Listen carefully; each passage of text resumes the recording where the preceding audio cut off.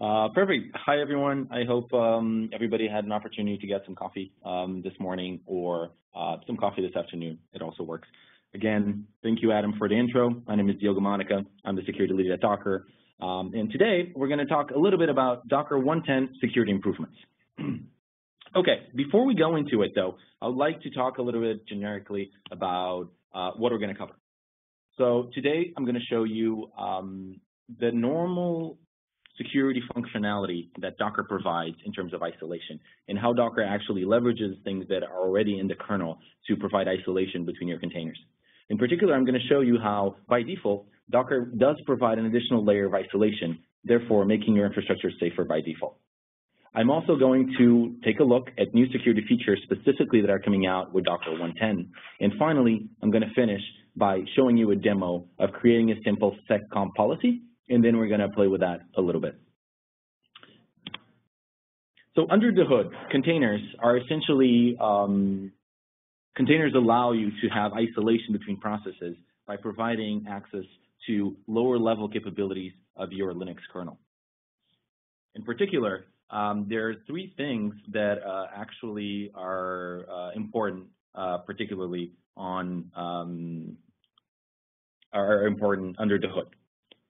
One of them is namespaces. So namespaces are essentially in the Linux kernel and allow you to have a segregated view of exactly what is happening inside of the system. We also have capabilities that allows you to segregate what root does, and finally C groups. So let's go individually into these specifics. So under the hood, namespaces are going to provide you an isolated view of the system. What this means is that when you run Docker, when you're executing anything inside of a Docker container, you essentially have a namespace, IPC, network, mount, PID namespace, etc. For example, I have on the slide, if I do run an Ubuntu container and I create a shell inside of it, by doing PS, you're going to see that you're only going to see the processes that are inside of this container. In this case, the shell itself and the PS command executing. Why is this? This is because the PID namespace is operating and is essentially separating all my processes of the container from the processes of the host.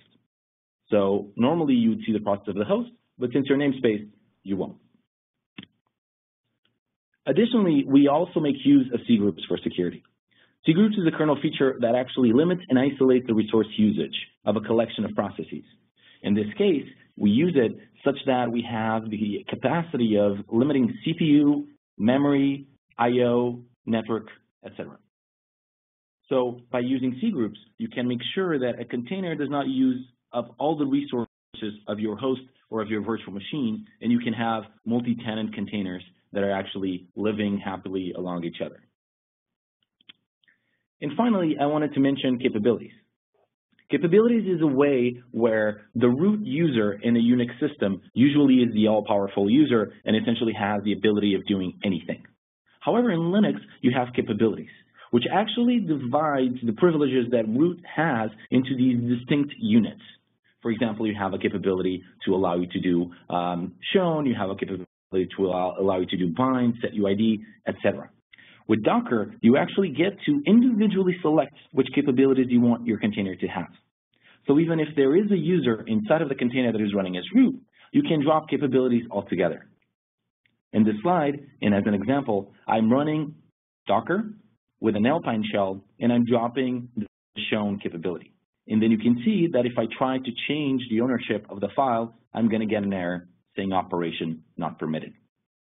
So this is interesting because you can really lock down the capabilities of your root inside of the container by dropping, for example, all capabilities, which you can do by doing cap drop all. And finally, on the on the on the features that we use in terms of uh, process restriction, I would point out that these capabilities by default come dropped. You have inside of a Docker container less than half of the capabilities that root has. And this obviously reduces the impact of a compromise of a container or reduces the impact of arbitrary code execution inside of your application inside of a container because not all of these capabilities are available out of the box. Okay, so this is a high level view of how Docker containers actually use the Linux capabilities, namespaces, and C groups to provide isolation. But what is new in Docker 110 specifically? Well, Docker 110, we've been doing a ton of work. In particular, one of the things that Docker 110 comes on master, and this was a feature that was pre previously experimental on Docker 1.9, is user namespaces. So I mentioned what namespaces were. Namespaces allow a series of different things, such as such as um, such as um, PID, right?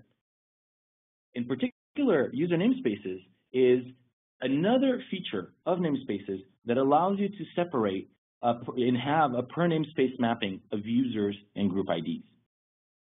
So essentially what this allows us to do for Docker specifically is that if a process inside of a namespace can be different than a process outside of the namespace, then what we can do is we can have UID 0, the UID of the user root, not match the user root outside of the container. I think the best description of user namespaces and why they're important came from Michael, quote from Michael Kerrisk, in which he said, a process can have a non-zero user ID outside of a namespace, while at the same time having user ID of zero inside of the namespace. In other words, the process is unprivileged for operations outside of the user namespace, but has root privileges inside of the namespace. And the reason why this is so powerful is because we know that, we all know that you should not run things as root. Just because you're running inside of a container doesn't mean that you should ignore 15 years of Unix best practices around security. However, users are lazy or they need root for one reason or the other. And so sometimes they actually end up actually using um, actually using root inside of the container. And in those cases, this is where user namespaces comes in. You can set a setting on the Docker daemon saying that all the UID zeros inside of the containers don't actually match root outside of the container. And this essentially allows you to be safe and in the case of a compromise or in the case of remote code execution or in case of a user with a shell, root inside of the container will no longer mean root outside of the container. This is great. And it's ready on Docker 110, and it's essentially merged into master, and you can make use of it right now. So that is user namespaces. What else did we get into Docker 110? Another thing that I'm really excited for Docker 110 is our authorization plugins. Our authorization plugins essentially allow you to have a piece of code that individually decides the execution of every single API call that goes to the engine. What this allows you to do is you can have granular access policies for managing access to the daemon. And this allows you to have, for example, multi-tenant environments. In particular, I have a simple example of what an authorization plugin can do.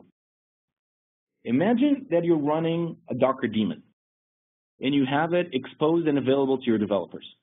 However, you don't want any of your developers to be able to run a privileged container.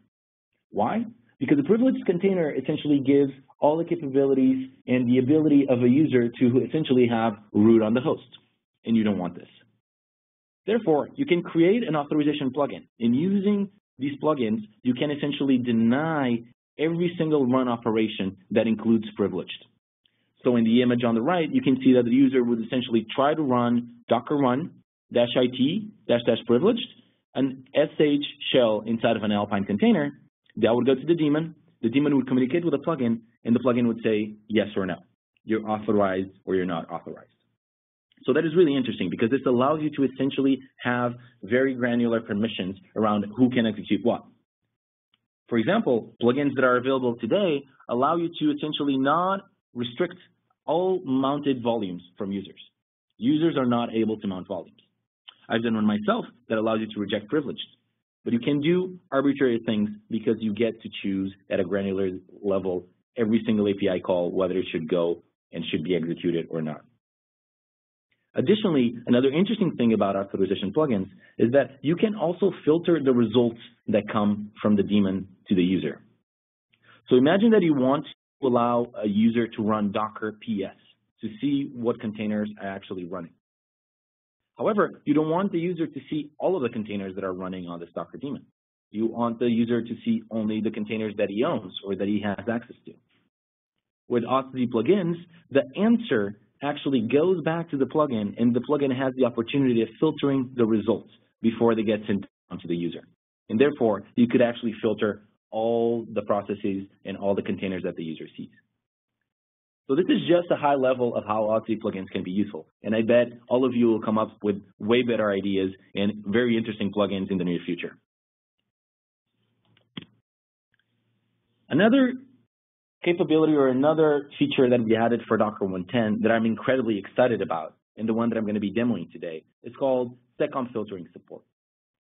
So what is seccomp and what is seccomp filtering? So seccomp has existed for a long time, and it essentially allows you to do um, BPF policy style, a Berkeley packet filter style policy around system calls that your container is allowed to execute. What this means is that if your container runs an application and the application needs to make some syscall, it will essentially have to obey to this policy. This policy allows you to have several actions, such as should I allow a syscall, deny it, trap to trace it later, uh, kill, um, etc. And you can actually filter based on the arguments that are being passed to the syscall. So I have an example on the right. Imagine that you have a container and you add the simple JSON as a policy. This policy is the system call nanosleep will have an action, uh, seccomp action error. What this means is that every time this container attempts to do sleep and call the syscall a nanosleep, it will be rejected with an error and the container won't be able to do it. And we're going to see a demo of this further on. This is a very simple demo, but you can see how this is powerful. There are 325, around 325 system calls in the Linux kernel. They're essentially one of the most granular level ways that you can to control any process or any application from executing. If you have the capability of individually saying which system calls should execute and which system calls should not, you essentially have the ability of controlling the kernel surface of exposure that a container presents to code executing inside of it. In particular, I mentioned that we have 325 policies. However, giving you this capability is not useful on its own.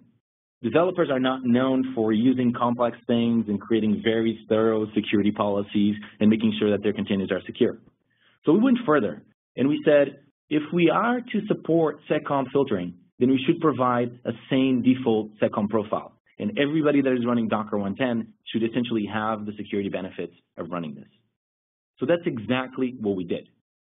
Docker 110 ships with the Docker security seccomp profile by default. Actually, it blocks 54 system calls that are not needed or are too dangerous. We're currently using a blacklist model, but as we evolve, we would like to turn this into a full whitelist model. And essentially, as more people test this out and more people are using it, we can further tighten down the default policy. So now you're asking, so how is this useful? And I have a con very concrete answer for you. Do you remember the CVE around keyring um, local escalation on Linux a few weeks back? I have the CVE 2016-0728. This vulnerability essentially allowed you, if you were able to call keyctl system call, to escalate privileges to root. But funny enough, on Docker 110, this does not work.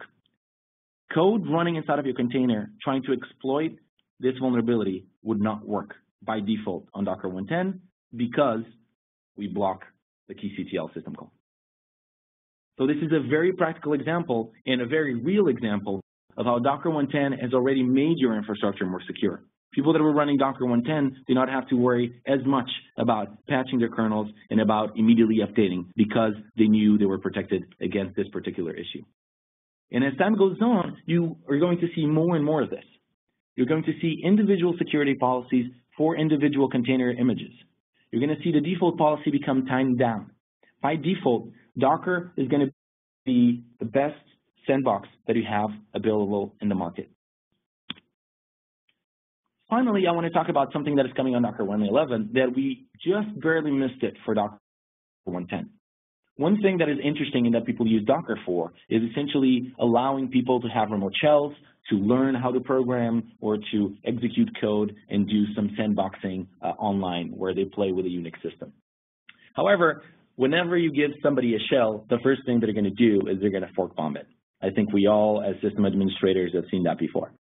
So finally, as of Linux kernel 4.3, there is actually a PID control group that was added that limits the number of processes that can be forked inside of a C group. So we essentially turned it on on Docker, and you turned it by default. So on Docker 111, as soon as the PR gets merged, you're going to be able to simply execute a shell and know that no fork bombs will be able to take down your system because the C group, PID control group, will be protecting you and will have an upper limit of what you can do.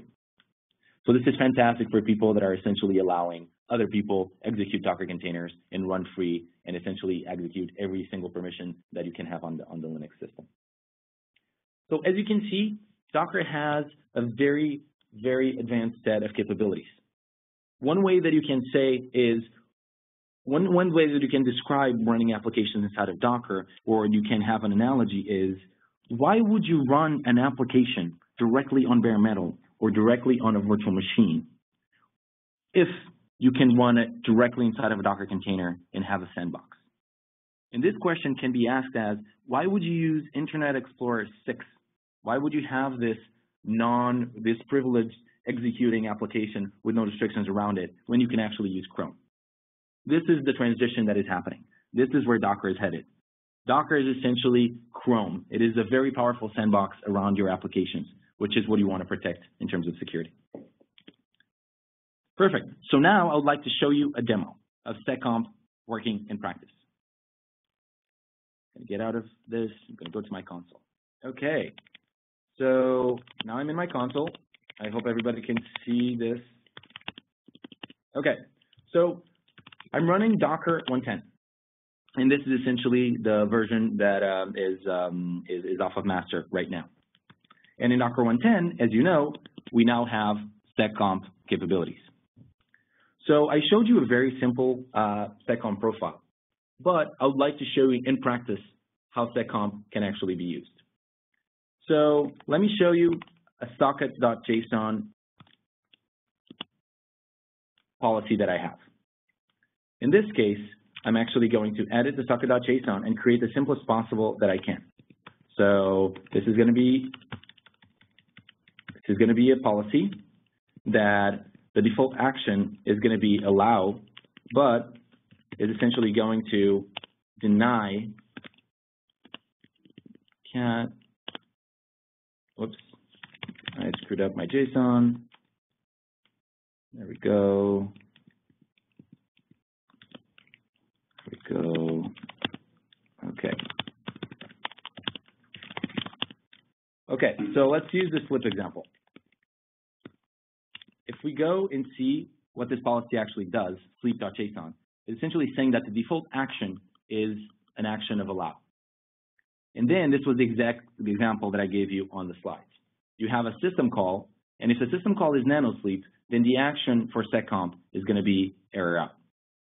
What this means is that if I run a container with this policy, I will not be able to execute the system call nanosleep. So before I do that, let's actually run um, a container without the seccomp policy. So I'm going to run a Docker container with Alpine in SH. I do this, and now I have a shell. So now, as I would normally execute, I have a sleep command. And the sleep command takes an argument, for example, three seconds, and you're going to see that it's actually sleeping for three seconds right now. One, two, three, we can try that again. You can see that it takes three seconds for the command to return. Okay, that's great. It's working as expected. However, what if I actually add a seccomp policy, sleep.json, uh, to it? The way that I add a seccomp policy in Docker is by adding the security option seccomp and providing the path to the JSON file that defines this policy. You can see in my screen that this policy has a default allow, so all the system calls will be all allowed, and only the system call nanosleep will be rejected. So let's try this out.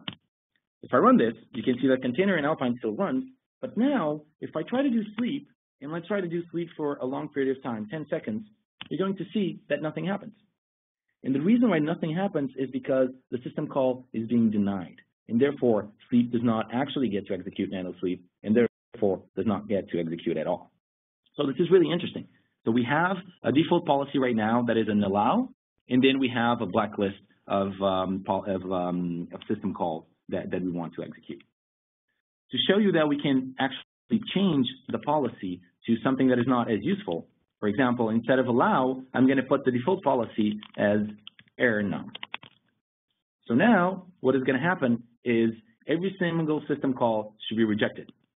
So what are we expecting if I run the security uh, seccomp profile sleep.json now? Well, we're expecting this not to actually work at all. And there we go. So we can't start the container uh, because we have a default policy that is denied. So now let's look at a more complex example. I have a busybox JSON um, policy. And in this policy, I actually did something that you might want to do on the most secure containers that you want to execute. Essentially, I turned what is essentially a blacklist on my sleep.json policy into a whitelist. And the way that I did that is I have a default action that is erroring, but then every single system call that I want to execute, I have it explicitly stated out on my syscall list. You can see that I'm allowing read, I'm allowing nanosleep, I'm allowing write, I'm allowing open, close, etc. So let's try to run this. I'm going to run busybox, and essentially I'm going to provide this profile and try to get a shell. Okay, so this didn't actually work. Let you look at my policy, see what is actually happening. The default action is error out, and then we have allow. Okay, I don't see anything wrong with this. The demo gods are not being nice to me today. Anyway, the point is you can actually have a very specific policy that allows you to very concretely define all the system calls that you can execute and that you should not be able to execute. And system sleep might not seem like an actual uh, policy or an actual call that is useful. But let's modify our sleep JSON, and instead of denying nano sleep, let's actually deny something more useful. Let's deny socket. So now, if I run the exact same container as before, I'm going to be able, with the same seccomp policy, I'm going to be able to sleep. Oh, actually, I have to change it back to allow by default. There we go. Okay, so I'm going to be allowed to sleep now. You can see that sleep executes because we changed that syscall. But now, if I try to do a netcat and I try to listen on a port, I'll get rejected. So this is a very concrete example of how you can have something useful on a seccomp policy. Because note that we could actually make a seccomp policy that does not just reject socket. It would reject socket on a specific port. And so you could only bind on, for example, port 80, or you could only bind on port 443, and no attacker could actually have a listening netcat or listening shell. And again, remember that even though this particular policy is um, blacklist, you can have a whitelist policy equally easily. Perfect. So that finishes our demo. And now I would love to answer some questions that anybody has. Okay, so our first question comes from Dan. And Dan's question is, are there any restrictions on the OS, on the host OS for any of these capabilities in 110? his question is, can I run this on older kernels? So the answer to that is you should always run an updated kernel, but yes, you are able to run seccomp on older kernels. There are some bugs um, that I remember on the, um, the, the 1.3 or in older kernels but you should be able to actually infer um, by the release notes of the seccomp on 110 uh, what kernels are actually supported.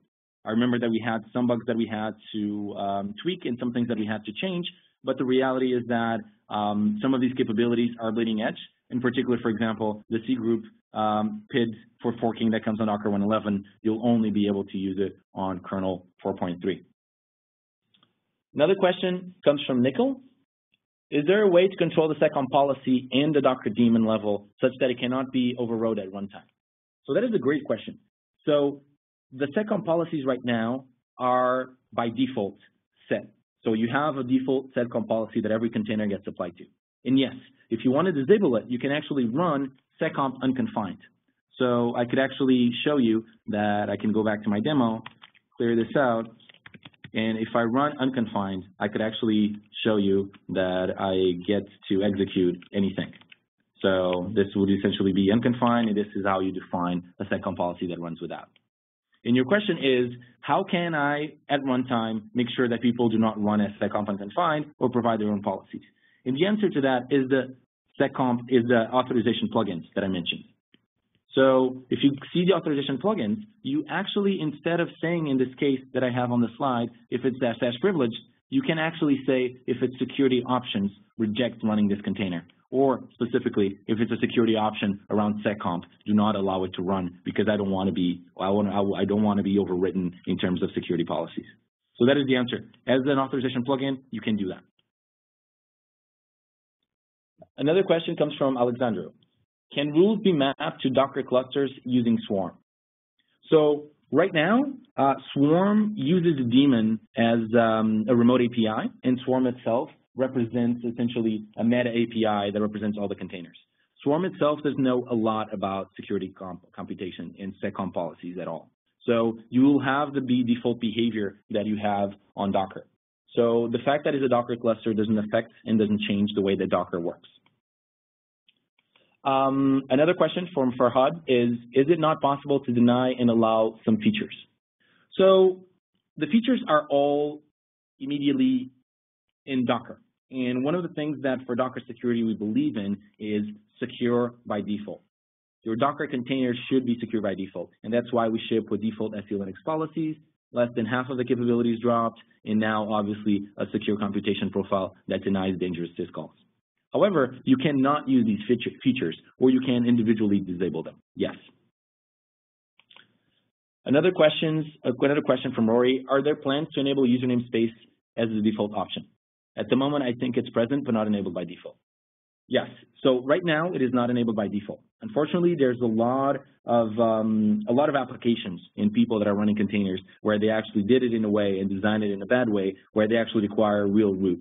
And so right now we're trying to have it as a capability that people can enable and that we rec strongly recommend them to enable such that when they merge or when they port all of their applications to a model where it can run inside of a user namespace, then finally we can later on turn it on by default. And obviously the path is to turn every security feature on by default and to have people create exceptions if they want to do something dangerous. In terms of, uh, there's a question, um, from CAN, is there a way to see the logs for denied syscalls, which container called them? So these operations can absolutely be logged on the Docker daemon side, yes. And in seccomp, you actually get to call some options uh, that are essentially pass-throughs, like the trace one, where you can do operations such as log. So you get to actually have some insight into how your containers are actually behaving. Um, there's um, a question from Adam. I'm a bit confused on the difference between seccomp and capabilities. They both seem to limit what a process can do. I mean, at a meta level, everything that we're doing is limiting what a process can do inside of a container. They're just doing it at different granularities and different levels. You can think of capabilities as essentially um, aggregation of individual syscalls because that's somewhat what they do, but it's more of a meta level. And you can think of it as multiple layers of security. Imagine that for some reason the seccomp policy gets disabled. Now you have the capabilities to actually reduce the, uh, the impact of root. So this is a multi-layered approach, even though they are obviously overlapping and they're essentially protecting against um, confined behavior, obviously. Um, there's a question from Angelica. Uh, can you please clarify the difference between using auth plugin and seccomp policies? So a seccomp policy specifically allows you to deny or allow specific system calls, which is one of the lowest levels that you can have of an application interacting with your OS-based system. An auth plugin essentially allows you to do arbitrary operations. If I want someone not to be able to run a command such as docker run dash dash privilege or with some particular parameter, I can deny that on an auth plugin. Auth plugin will see every single API call and will be able to return a yes or no, should this be executed by the daemon or not executed by the daemon. So seccomp policies allow to limit the behavior of a container, and authorization plugins allow you to do arbitrary things, essentially creation of granular access profiles for managing access to the daemon, allow you essentially to have a multi-tenant setting. So another question, Docker 110 ships with a sample seccomp policies. We do have the default seccomp policy, yes. Um, we do not have necessarily sample seccomp policies, but as time goes on, we will be creating for our official images seccomp policies that we believe are the best way of running them. So as time goes on, we'll have more and more examples so you can use. Um, more questions?